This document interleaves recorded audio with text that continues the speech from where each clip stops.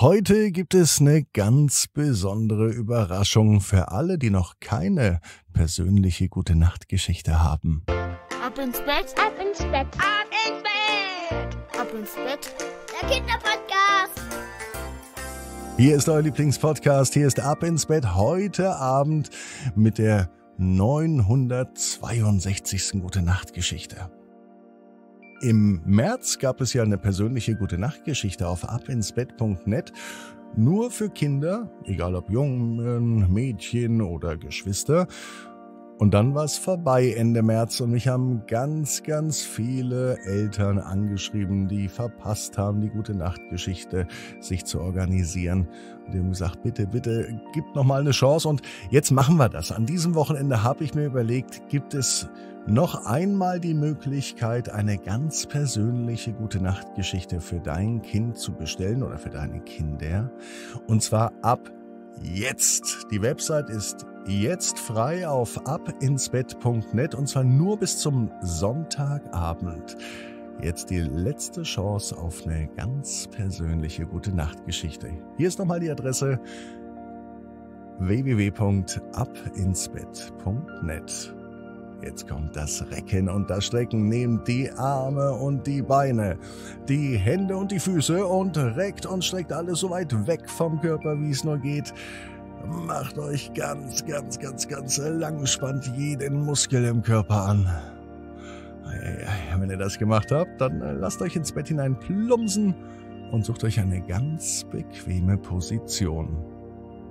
Und heute Abend bin ich mir sicher, findet ihr die bequemste Position, die es überhaupt bei euch im Bett gibt.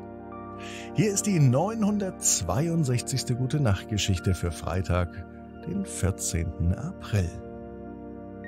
Björn und die Brieftaube.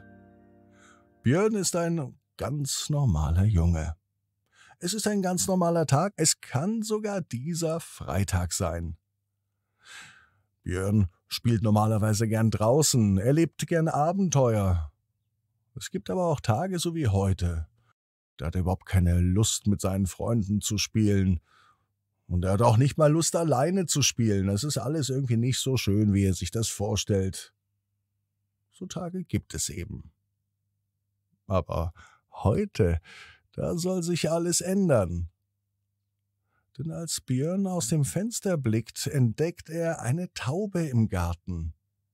Sie sitzt auf dem Zaun, und es scheint so, als sieht sie ihn sogar neugierig an. Björn entschließt sich rauszugehen, Ganz langsam geht er zur Taube. Als er vor ihr steht, streckt er ganz vorsichtig seine Hand aus. Und dann die große Überraschung. Die Taube lässt sich wirklich anfassen. Und sie klettert sogar auf seine Schulter. Da ist Björn begeistert. Und er beschließt, dass er die Taube fragen möchte, ob sie vielleicht bei ihm bleiben will. Außerdem möchte er sich gern um die Taube kümmern. Die Taube scheint die Idee gut zu finden. Björn nennt die Taube Frieda und er baut ihr im Garten ein kleines Häuschen. Dort fühlt sie sich sicher und beschützt. Dort kann sie wohnen. Jeden Tag besucht er sie nun und er füttert sie mit allem, was die Taube mag. Mit Körnern und auch mit frischem Wasser. Frieda ist mittlerweile Björns beste Freundin und er kann ihr alles erzählen, was ihm wichtig ist und was ihn bewegt. Und obwohl Frieda nicht sprechen kann, scheint sie Björn zu verstehen. Und manchmal tröstet sie ihn auch, wenn er traurig ist. Doch heute bemerkt Björn, dass es irgendwie seltsam war mit Frieda. Sie ist so unruhig und sie fliegt immer wieder im Garten hin und her, so als ob sie irgendwas sucht. Björn weiß gar nicht, was los ist, und er beschließt ihr, Frieda zu vertrauen und ihr zu folgen. Mal sehen, wo er sie hinführen wird. Björn läuft ihr hinterher. Frieda fliegt von Baum zu Baum, und dann stoppt sie vor einem verlassenen Gebäude. Björn weiß gar nicht, ob er da reingehen möchte, aber Frieda, die scheint ihm zu zeigen, dass er keine Angst haben muss. Im Inneren finden sie einen alten Käfig. In diesem Käfig ist ein Vogel gefangen. Und Björn versteht sofort, dass Frieda ihn hierher geführt hat, um zu helfen. Er öffnet den Käfig und der kleine Vogel fliegt davon. Dann geht es wieder zurück nach Hause. Björn fühlt sich aber anders. Glücklich, so glücklich wie nie zuvor. Er hat nicht nur mit Frieda eine Freundin gefunden, er hat auch gelernt, dass es manchmal ein bisschen Mut erfordert, um anderen zu helfen.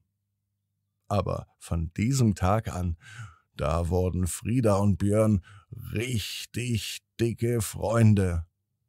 Und sie fühlten etwas, nämlich mehr Freude und Dankbarkeit direkt im Herzen. Björn und Frieda bleiben lange beste Freunde und sie verbringen viele glückliche Tage zusammen im Garten. Frieda möchte Björn sogar beibringen, wie man fliegt. Sie versucht ihn auf dem Rücken zu nehmen.